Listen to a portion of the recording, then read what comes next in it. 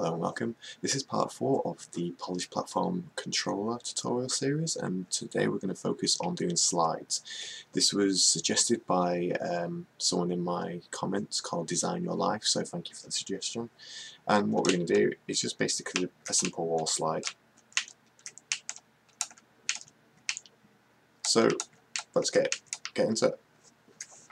So I'm going to close this down and what we're going to do is we're going to go to the player and I'm going to put in the art you'll see here that I've got the art in this project. Once again, it's be on GitHub, so if you want to skip this tutorial, just download it and learn from doing that way. Please feel free to, not a problem. It'll be in the description. So I want to go to the player, I want to go to animated sprites, and we're just going to make a new animation. I'm going to call it wall slide. I know it's it looks alright around about 7 frames per second, and I'm going to just drag it in. As you can see, we've got a nice little wall slide going on. I'm going to put this back to idle. I'm going to save that. I'm going to go back to the script and we're going to put in some um, variables at the top of our player. So two exported variables. Export var max fall speed wall slide because we're going to fall slower than the normal gravity. It's 100. Export wall slide gravity equals 100. Don't forget to do the var again.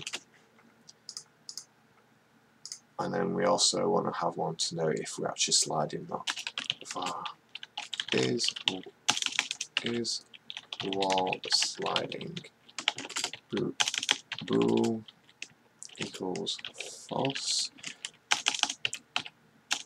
check if we're currently and I'm going to do a copy and paste job here. The reason is, is it's quite a complicated section and I don't want to mess it up.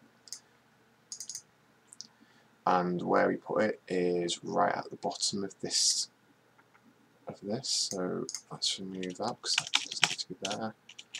Move it down here. Move that back. There we go. So let me just write in logic of wall sliding here. So what's going to happen is check ground wall logic is we're just checking that we'll do all the checks to see if we're on the ground or not, if we're touching a wall or not, and then right at the bottom we'll say, hey, are we currently touching a wall? Yes, we are. We're not touching the ground, and our speed is going downwards. Then it'll go to the next one. It says, well, are we pressing left or right, or is the joypad absolution greater than 0. So it means basically, are we pressing left or right on the keyboard or on the controller?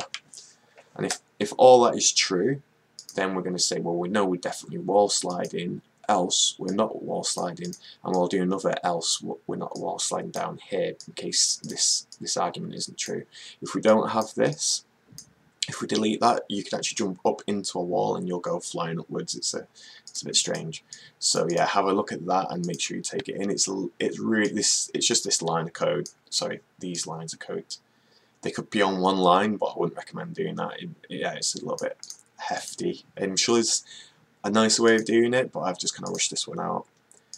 Um, now we're going to go down to the jumping handle jumping. And right near the bottom again. Not at the bottom though it's really important that this always stays at the bottom because it's got a yield.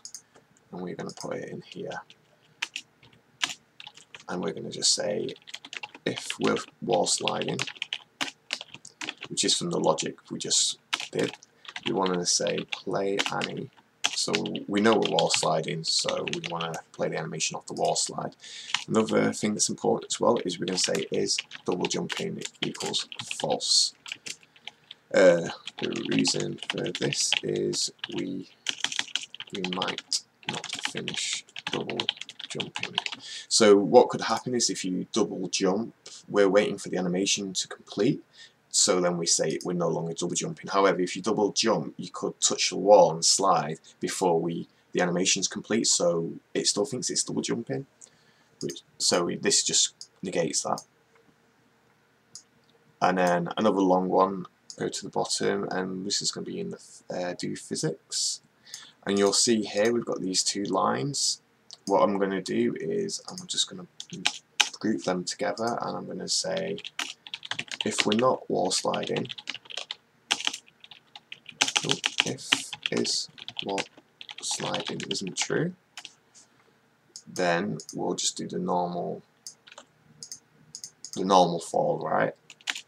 Else we are wall sliding. Then I want to say v speed plus equals wall slide gravity times delta v speed equals min. V speed max fall speed wall slide. Oops. Wall slide. There we go. Brilliant. So we're saying hey if we're wall sliding then we want to decrease our speed so we're going to use the slower wall slide gravity rather than the faster normal gravity. And this way we won't just fly down when we're sliding onto the wall. So what I'm going to do is I'm going to check see if this works. Yeah, so it doesn't look as bad now. Uh, but yeah, that, that seems to work. You might notice that when we're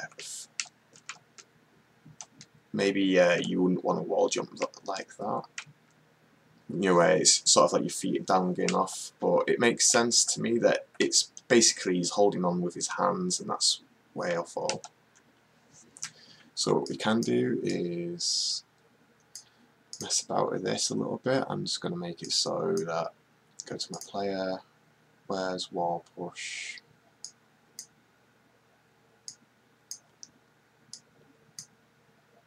Oh, what should I make that? 700? I want to make the wall slide gravity a little faster.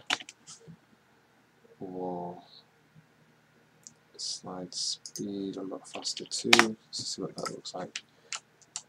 So you can see when I push off, it's it's like it's really strong now.